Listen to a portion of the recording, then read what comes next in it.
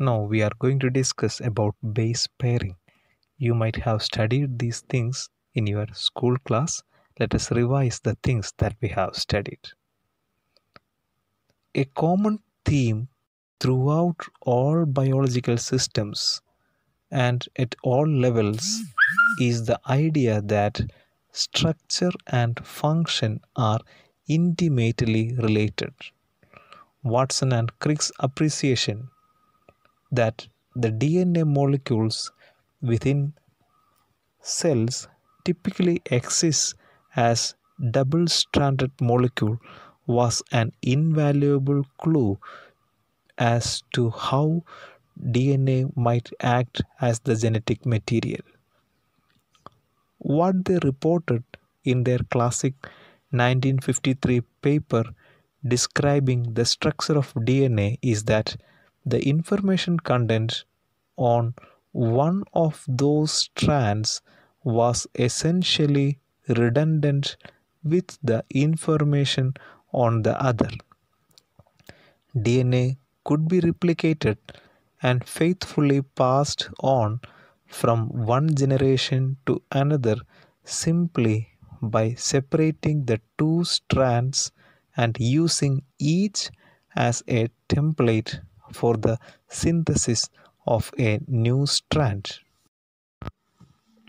As we have already discussed, the information content in a DNA molecule comes from the specific sequence of its nucleotides.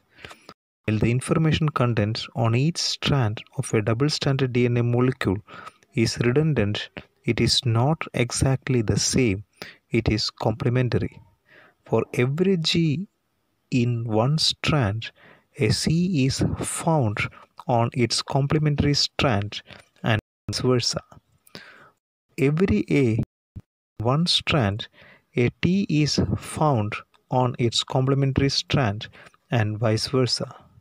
The interaction between G's and C's and between A's and T's is both specified and is both specific and stable.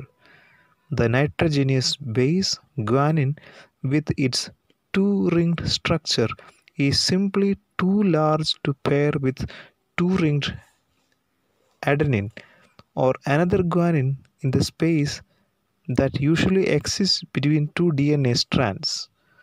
By the same token, the nitrogenous base thymine with its single ringed structure is too small to interact with another single ringed cis cytosine or thymine. Space is not a barrier to interaction between G's and T's or A's and C's, but their chemical nature are incompatible as will be described later on after some time. Only the pairing between the nitrogenous bases G and C as shown in this figure and pairing between the nitrogenous bases A and T as shown in this figure have both the right spacing and interaction between their chemical groups to form stable base pairs. In fact, the chemical interaction between the two different kinds of base pairs is actually so stable and energetically favorable that it is responsible for holding the two complementary strands together. Although the two strands of DNA molecules are complementary that are not in the same 5' bar 3' orientation. The two strands are said to be anti-parallel to each other with the 5' end of one strand corresponding to the 3' end of the complementary strand and vice versa. Strictly speaking, the two strands of a double-stranded DNA molecules are reverse complement each other.